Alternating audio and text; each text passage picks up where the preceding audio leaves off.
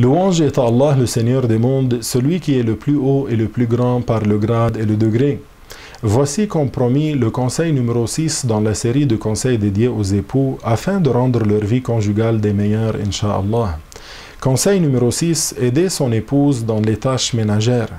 Sache mon frère que parmi ce qui te fait gagner l'amour de ton épouse, c'est que tu sois modeste avec elle pour les affaires de la maison.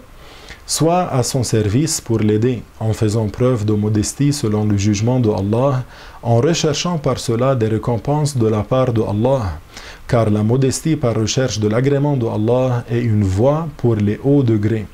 Prends exemple en cela sur le messager d'Allah sallallahu alayhi wa sallam.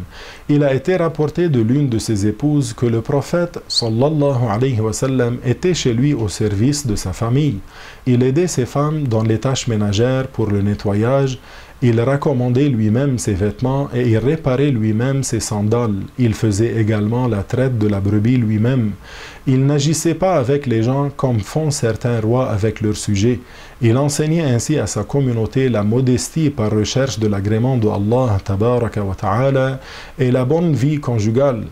Il a été rapporté dans le hadith que Aisha anha, a été interrogée sur ce que le messager d'Allah faisait à la maison et qu'elle a répondu Il faisait ce que fait un homme chez lui, c'est-à-dire qu'il aidait aux tâches ménagères. Les prophètes sont parmi les gens ceux qui sont les plus modestes vis-à-vis des esclaves d'Allah. Le messager éminent que Allah élève davantage ses degrés et ses grades a dit ce qui signifie il n'y a pas une seule personne qui a fait preuve de modestie par recherche de l'agrément de Allah sans que Allah ne l'élève en degrés. Sur ce, je vous laisse méditer, chers frères et sœurs, sur ce septième conseil et vous reviendrez sous peu avec d'autres précieux conseils, Inch'Allah. Je demande à Allah Ta'ala qu'il vous accorde une vie joyeuse, une vie pleine de bonheur, une vie pleine de santé et de piété. Walhamdulillahi Rabbil Alameen.